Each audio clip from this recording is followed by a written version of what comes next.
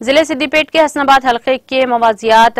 गोरुवैली, गंडीवैली पल्ली के माबैन महकमा अपाशी के जेर एहतमाम तामीर किए जाने वाले अपाशी प्रोजेक्ट की तकमील के बाद कल मुकाम रुकने असम्बली वी सतीश कुमार की जानब से ट्रायल रन मुनद की गई, जो कि मुकम्मल तौर पर कामयाब हुई, जिसके नतीजे में हल्के की अवाम किसानों में खुशी और मसरत की लहर दौड़ गई। मजकुरा अपाशी प्रोजेक्ट के ज़रिए हल्के में जायद अज एक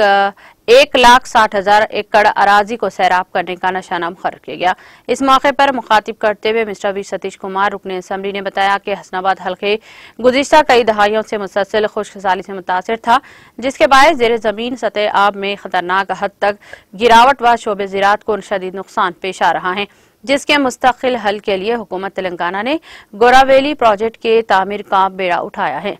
मोहतरमा डॉक्टर वी शमिता सिदर जिले परिषद हनमकुंडा डॉक्टर एम सिधीर कुमार नायब सदर आर राजा रेड्डी जिले परिषद रुकन बी मंगना नायक के अलावा हल्के के मुख्तलि मवाजियात के सरपंचों मंडल परिषद के अरकान बीआरएस पार्टी से वाबस्ता कायदीन और कारकुनों के अलावा किसानों अवाम की कसी तादाद इस मौके पर मौजूद थी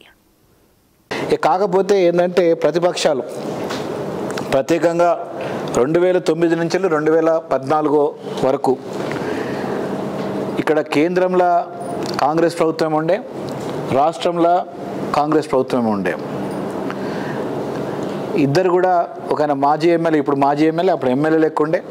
రెండు వేల తొమ్మిది నుంచి రెండు వేల పద్నాలుగు వరకు ఒక తట్టెడు మట్టి కూడా గౌరవెల్లి ప్రాజెక్టులో తీయలేదు. నిర్వాసితులు పోయి మా పరిస్థితి ఏందో అంటే అన్నమో రామచంద్ర అంటే కనీసం వాళ్ళని పిలిచి మాట్లాడే పరిస్థితి కూడా లేదు. మరి అటువంటి వాళ్ళు వచ్చి ఇది అయిపోయింది కానీ అది కాలే అది అయిపోయింది ఇది కాలే అని చెప్పంటే ఇది ఇది కాంగ్రెస్ ప్రభుత్వం కాదు లేకపోతే ఇంకేదో ప్రభుత్వం కాదు. ఇక్కడ